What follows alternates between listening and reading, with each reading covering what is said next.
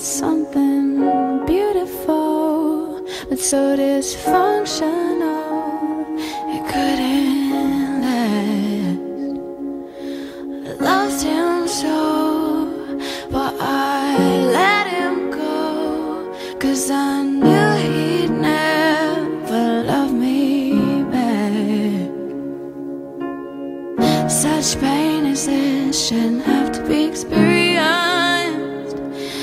Still reeling from the loss, still a little bit delirious. Yeah.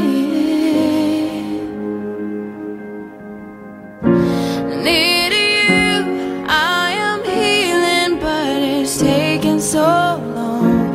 Cause though he's gone and you are wonderful, it's hard to move